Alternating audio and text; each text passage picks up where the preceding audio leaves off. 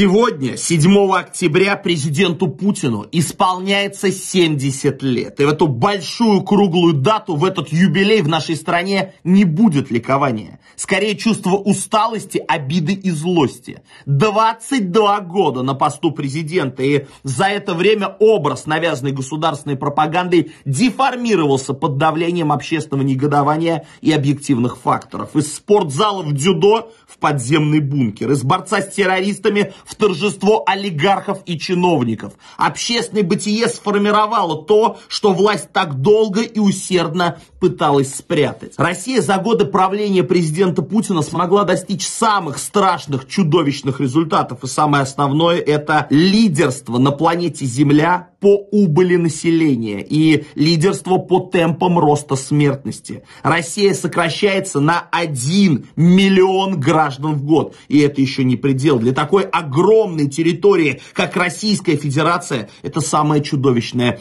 трагедия. В 2009 году тогдашний главный санитарный врач России господин Онищенко сделал следующее заявление в своем докладе. Реальное душевое потребление алкоголя с учетом оборота спиртосодержащей продукции продукции, в том числе парфюмерно-косметической продукции, в том числе товаров бытовой химии и других товаров в России на душу населения составляет 18 литров чистого спирта в год что является страшным, разрушительным итогом правления руководства действующей власти. От э, потребления алкоголя в России ежегодно умирает около 100 тысяч человек. Помимо этого у нас рекорды на планете Земля по смертности от туберкулеза, болезни, которая 30 лет назад была почти побеждена. Мы лидируем в мире по смертности от сердечно-сосудистых заболеваний, по темпам заболевания ВИЧ и других неизлечимых болезней. Но самое основное – это нищета России российских граждан. Доходы, реально располагаемые доходы нашего населения снижаются системно 8 лет подряд. В результате Россия вымирает. Но помимо всего прочего мы занимаем первое место в Европе и второе место на планете Земля